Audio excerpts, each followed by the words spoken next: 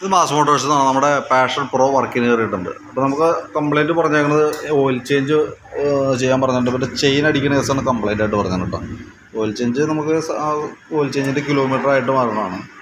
Chain അടിക്കുന്ന case complaint പറഞ്ഞിട്ടുണ്ട്. അപ്പോൾ നമ്മൾ ജസ്റ്റ് ചെക്ക് ചെയ്യുന്ന സമയത്തുണ്ടല്ലോ. അതിന്റെ ഈ ചെയിനിന്റെ ബാക്ക് സൈഡൊക്കെ ശരിക്കും ചെയിൻ പിടിക്കാത്തൊരു സിറ്റുവേഷൻ ഉണ്ട്.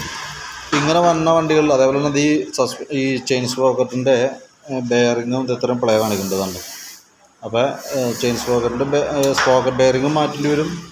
ചെയിനും മാറ്റേണ്ടി വരും. കാരണം ചെയിൻ ഇതല്ലെങ്കിൽ എന്ത് പറ്റുന്നത് നമ്മൾ ടൈറ്റ് ചെയ്ത് കഴിഞ്ഞാലും ഒരാഴ്ചക്കുള്ളിൽ തന്നെ വീണ്ടും അടി കൊടുക്കും. കാരണം ചെയിനിന്റെ ഒരു ലൈഫ് കഴിഞ്ഞു. അപ്പോൾ ചെയിൻ സ്പോക്കറ്റായിട്ട് മാറ്റി രണ്ട് സ്പോക്കറ്റും ചെയിനും കൂടി മാറ്റിയിട്ടാണ് ആ കംപ്ലയിന്റ് മാറുള്ളൂ. കൂട്ടത്തേക്കൂടെ ഈ സ്പോക്കറ്റിന്റെ ബെയറിങ്ങും മാറ്റി കാരണം ഈ പ്ലേ വന്നു കഴിഞ്ഞാൽ ചെയിന്റെ ലൈഫ് കുറയും. അതേപോലെ തന്നെ ഓവർലാപ്പിങ് കാര്യങ്ങളൊക്കെ വരാനും സാധ്യതയുള്ളൂ. അതേപോലെ തന്നെ നമുക്ക് അതിന്റെ ബാക്കിലത്തെ ബ്രേക്ക് ലൈൻഡർ കിടക്കുന്നത് കമ്പനി ലൈൻഡറാണ് ഹോണ്ടയുടെ ഒറിജിനൽ ലൈൻഡറാണ് പക്ഷേ അത് നമുക്ക് ഉപയോഗിച്ച് തീർന്നു. പരമാവധി ഉപയോഗിച്ച് എത്തിയിട്ടുണ്ട്. അതുകൊണ്ട് തന്നെ ബ്രേക്ക് ചവിടുന്ന സമയത്തൊക്കെ നല്ല സൗണ്ട് ഉണ്ട്. അതായത് ഈ ലൈലാൻഡ് വണ്ടി ബ്രേക്ക് പിടിക്കുന്ന പോലുള്ള സൗണ്ടും കാര്യങ്ങളൊക്കെ കാണിക്കുന്നുണ്ട്. അപ്പോൾ അത് മാറ്റിയിട്ട് കഴിഞ്ഞാലാണ് ബ്രേക്കിന്റെ സൗണ്ട് കാര്യങ്ങൾ മാറുള്ളൂ. ബ്രേക്കിങ്ങും കറക്റ്റ് ആവുള്ളൂ. പിന്നെ നമുക്ക് വണ്ടി കാലത്തൊക്കെ എടുക്കുമ്പോൾ ചെറിയൊരു കിക്കർ പിടിക്കാത്തൊരു സിറ്റുവേഷൻ കംപ്ലൈന്റ് പറഞ്ഞിട്ടുണ്ടായിരുന്നു. അപ്പോൾ അത് നമ്മൾ ചെക്ക് ചെയ്ത് നോക്കുമ്പോഴല്ലോ ഈ കേ ക്ലച്ച് കേബിളിന്റെ കംപ്ലൈന്റ് ആണ്. ക്ലച്ച് കേബിൾ ഇവിടെ ഔട്ടർ പൊട്ടിയിട്ടുണ്ട്.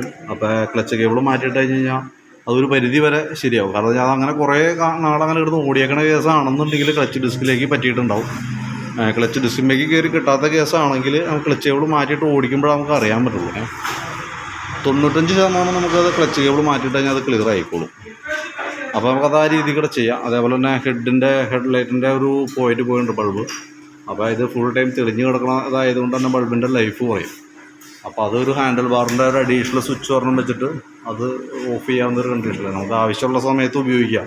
നൈറ്റ് മാത്രം ഉപയോഗിക്കാവുന്ന ഒരു കണ്ടീഷനിലേക്ക് ആക്കി വയ്ക്കാം അത്രയും കേസാണ് ചെയ്യേണ്ടത്. അപ്പോൾ chain സ്പോക്കറ്റും brake liner sprocket bearing engine oil handlebar switch കളിലേറ്റ് ഉള്ളൂ ഇതൊക്കെ നമുക്ക് മാറ്റേണ്ടി വരുന്ന പാർട്സുകൾ അപ്പോൾ ഞാൻ അതിന്റെ അപ്രോക്സിമേറ്റ് ഒരു എസ്റ്റിമേറ്റ് ആക്കിയിട്ട് ഞാൻ ഡീറ്റെയിൽസ് വാട്സപ്പ് ചെയ്ത് തരാം. അപ്പോൾ നോക്കിയിട്ടൊന്ന് റിപ്ലൈ ഇടണം കേട്ടോ. വണ്ടി ചെയ്തുകൊണ്ടിരിക്കുകയാണ്.